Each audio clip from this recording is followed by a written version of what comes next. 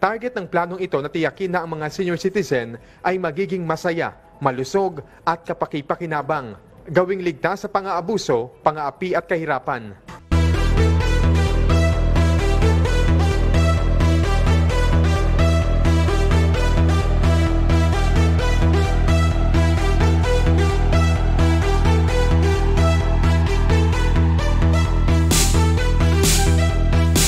Paitin pa ng gobyerno ang pangangalaga at pagpapahalaga sa siyam na milyong senior citizens. Kasama sa misyon na masiguro silang ligtas, malusog at nakakakuha ng mga benepisyong nakalaan para kila lolo't lola. Formal nang inilunsad ng National Commission of Senior Citizens sa Malacanang ang 5-year Philippine Plan of Action for Senior Citizens para sa taong 2023 hanggang 2028. Ito yung magiging hakbang para sa pagpapabuti ng sitwasyon ng mga senior citizens sa bansa. Alinsunod sa Republic Act No. 9994, ang senior citizen ay ang mga Pinoy na edad 60 pataas. Nabatay sa datos ng Philippine Statistics Authority noong 2020 ay pumapalo sa higit siyam na milyon na ang bilang. This time we realize that maybe we should count the blessings. We should look at the senior citizens as a vast reservoir of skills, expertise, knowledge, wisdom. Bahagi ng plano ng NCSC at mga stakeholder nito na lumika ng isang inclusive at age-friendly society na nagsiservisyo, nagpoprotekta sa karapatan at pribilehiyo ng mga matatandang Pilipino. Kasama na rito ang kanilang kalusugan at well-being.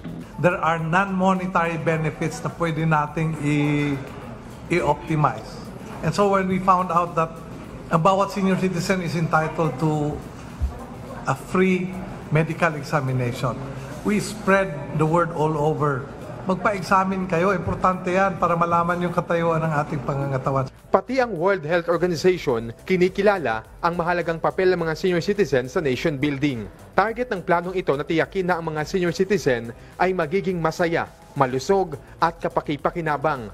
Gawing ligtas sa pang-aabuso, pang-aapi at kahirapan. I think the elders now, the elderly people, the older persons are, are senior citizens, are very aware and they're awakened of the, the strength that they have as senior citizens. Isusulong din ng komisyon ang pag-amyenda sa RA 9994, partikular ang implementasyon ng discount at benefits sa mga lokal na pamahalaan at OSCA o Office of Senior Citizens Affairs. Nais din nilang gawing observing member ng National Disaster Risk Reduction and Management Council ang NCSC para matiyak ang kapakanan ng mga senior citizen tuwing may sakuna. Balak din nilang isulong ang Anti-Elder Abuse Bill sa national at local levels sa pamagitan ng pagkakaroon ng 24-7 help desk at hotline sa bawat barangay para agad na mai-report at maaksyonan sakaling may matukoy na pang-aabuso sa mga matatanda. Nais din ng NCSC na mabigyan ng abot kaya at ligtas na tirahan ang mga senior citizen sa kanilang komunidad